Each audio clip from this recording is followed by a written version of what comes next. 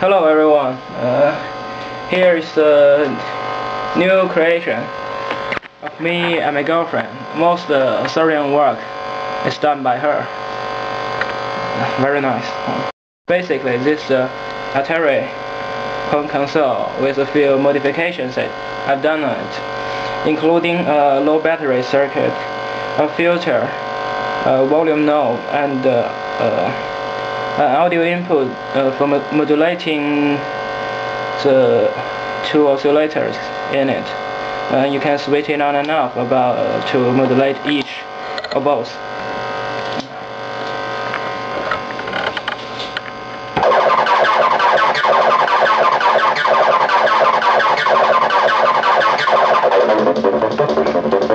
When bypass, this stuff can let the audio pass through it, uh, so it can be used very effectively, efficiently in an effect channel.